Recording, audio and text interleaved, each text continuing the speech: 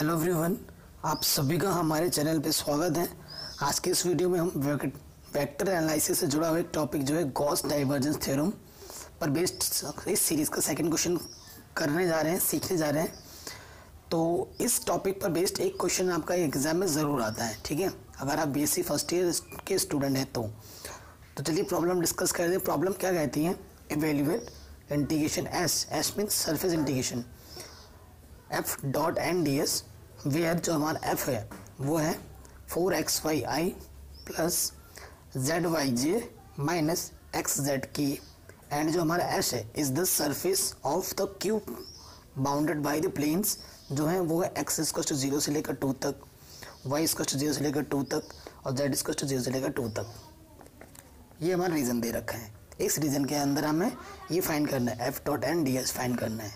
इसका integration surface integration तो इसके लिए हमें क्या निकालना है? एफ़ डॉट एन यानी कि सीधा सीधा अनुमान लग गया कि मुझे गॉस डाइवर्जेंस थ्योरम का पालन करना है। वो क्या होता है? Integration S F dot N D S is to क्या होता है?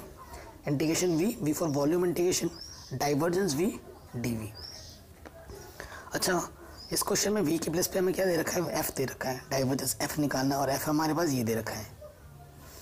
तो सबसे पहले हम क्या निकालेंगे डाइवर्जेंस एफ़ डाइवर्जेंस एफ़ को जो डिनेशन होता है, वो होता है डेल डॉट एफ़ डेल बोलते हैं इसे। तो डेल का क्या होता है? उल्टा डेल का मतलब होता है curly over curly X I plus curly over curly Y J plus curly over curly Z K to में एफ़ क्या है? डॉट प्रोडक्ट है। Four X Y I plus Y J K minus X Z K sorry यहाँ पर आपका क्या था? मैंने कुछ गड़बड़ कर दिया। सॉरी वाई जेड यहाँ पर आपका वाई जेड जे था।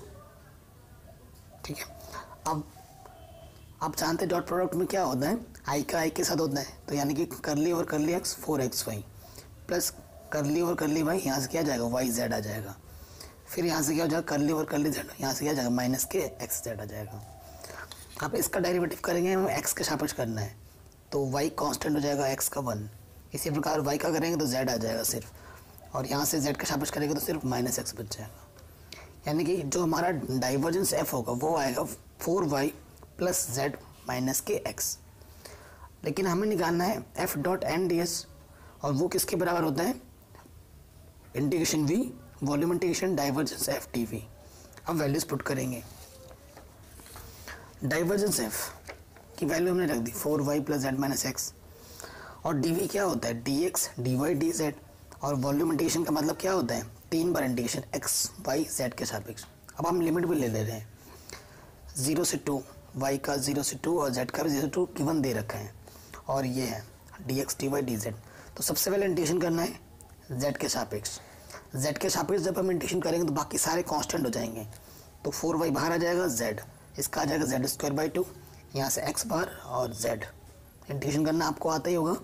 ये डिफरेंशियल कैलकुलस वाला आपने सीखा होगा इंटीग्रेशन करना इंटीग्रल कैलकुलस में। तो यहाँ से डी एक्स डी वाई फिर क्या होगा? Upper limit minus lower limit रखेंगे। सॉल्व करेंगे तो आपको मिल जाएगा eight Y plus two Y minus two X यहाँ पर डी एक्स डी वाई अब आपको किसके रेस्पेक्ट में करना वाई के रेस्पेक्ट में।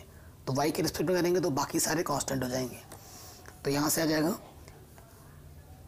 वाई स्क्वायर पॉइंट टू होगा। टू से कट के फोर फोर आ गए यहाँ पे। फोर वाई स्क्वायर यहाँ से टू वाई आ जाएगा और यहाँ से टू एक्स वाई फिर से आप upper limit minus lower limit रखेंगे। ये देखिए मैंने रख दिया। लोअर तो आप रखिए मत, क्योंकि ज़ीरो है तो ज़ीरो ही देना ही है। सिर्फ़ अपर से ही बात बन जाएगी। फिर ये उसको आप जब सॉल्व करेंगे तो यहाँ से सोलह और चार बीस आ जाएगा और यहाँ से माइनस के फोर एक्स अब एक्स का साबित करना है तो बीस का बीस एक्स हो जाएगा और फोर एक्स का टू एक्स स्क्वायर हो जाएगा। इंडिकेशन फिर upper limit minus lower limit रख देंगे और सॉल्व करेंगे तो आपको आंसर क्या मिल जाएगा? थर्टी टू तो आई होप ये क्वेश्चन आपको समझ में ज़रूर आया होगा। अगर ऐसा है तो इस वीडियो को लाइक ज़रूर करें।